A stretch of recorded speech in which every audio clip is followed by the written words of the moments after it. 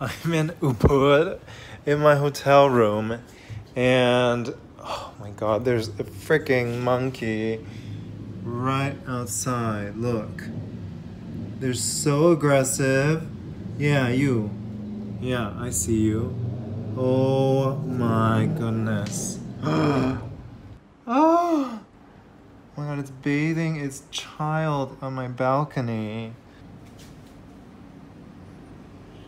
Okay, I think it wants to attack me. Oh my god. Oh my god, I cannot go out.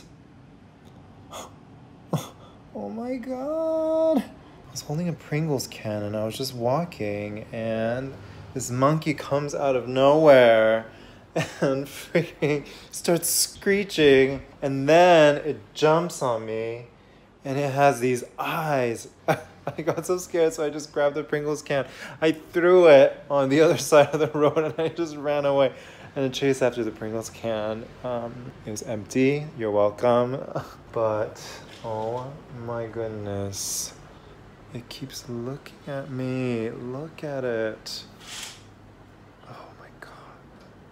Note to self don't book your hotel right next to the monkey village, monkey temple. Oh my god, there's like four of them now. I need to stay safe, away from the monkeys. I hope everyone is doing well. I'll talk to you later. Bye.